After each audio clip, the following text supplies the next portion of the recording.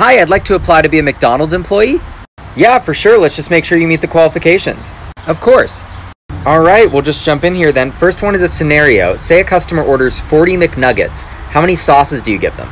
Well, initially none. Nice, but what if they ask for some? I mean, I guess I could spare a barbecue, maybe. That's what we like to hear. All right, next one here. What do you say if a customer wants an ice cream cone? I would tell them the ice cream machine is broken at the moment.